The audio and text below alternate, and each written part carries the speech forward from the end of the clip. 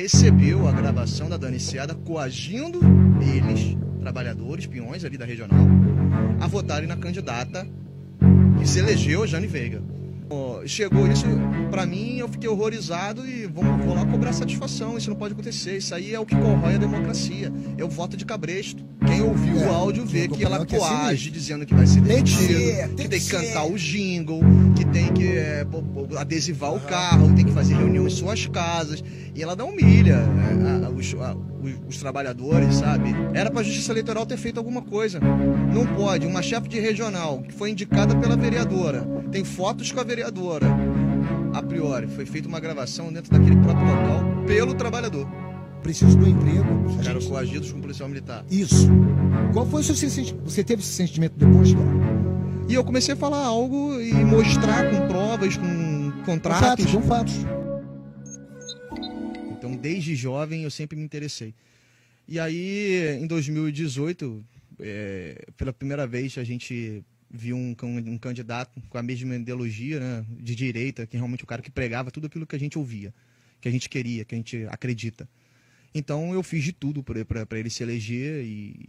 Bolsonaro? Então, Bolsonaro, Bolsonaro, em 2018. Bolsonaro. Eu lembro que você montou um grupo, né? Então, cara? aí eu montei, aí eu, ah. eu montei uma. Um, montei um grupo, mas aí deu algumas tretas e tal, e eu comecei ah. a tocar a página sozinha, mudei o nome. Antes o nome era Partido Militar Angra, e eu mudei para Direita Angrense porque já não, não, eu já não pertencia mais ao Partido Militar Brasileiro, diante de algumas coisas que eu vi bem ruins lá dentro do partido. E aí eu resolvi caminhar próprio e, através da página Direita Angrense, comecei a colocar os meus vídeos que eram as minhas ideias. Obviamente, uma ideia de direita, mas eu comecei a tocar. O que acontece? Usei a página Direita Angrense para a eleição do Bolsonaro em 2018. Quando a missão foi concluída com êxito, eu agora precisava mostrar o que eu queria a âmbito municipal, a âmbito de que qual é a minha visão política sobre isso. Então eu comecei a fazer, é, fazer tudo aquilo que eu queria que o representante fizesse por mim. E que era uhum. tocar na ferida, que era mostrar o porquê, qual o verdadeiro problema da sociedade não avançar e qual o verdadeiro problema da política ser tão podre.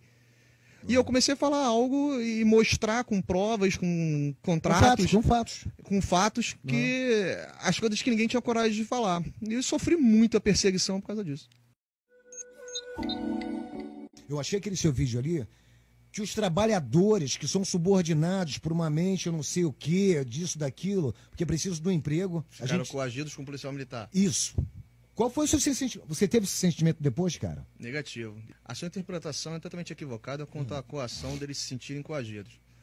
A priori, foi feita uma gravação dentro daquele próprio local pelo trabalhador.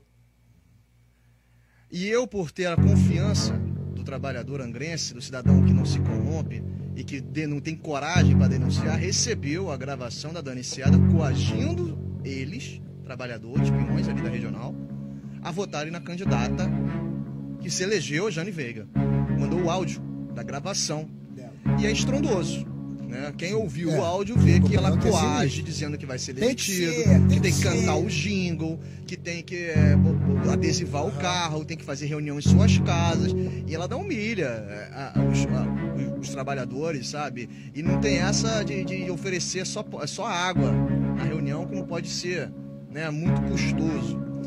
Então, chegou isso para mim, eu fiquei horrorizado e vamos, vou lá cobrar satisfação. Isso não pode acontecer. Isso aí é o que corrói a democracia. É o voto de cabresto.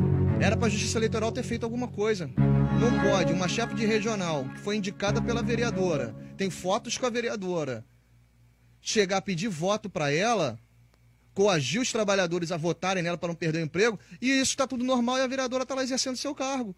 Isso é um absurdo, pô. Isso aí é o que quebra a democracia.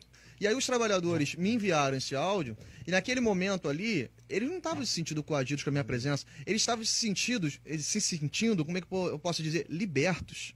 Porque aquela chefe regional foi demitida e eles odiavam ser coagidos daquela forma.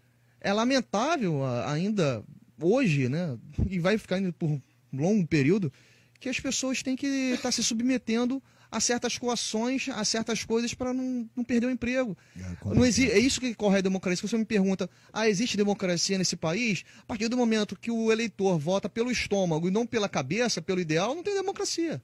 Então eles lá se sentiram aliviados, porque a chefe de regional foi demitida e eles não aguentavam mais aquela coação.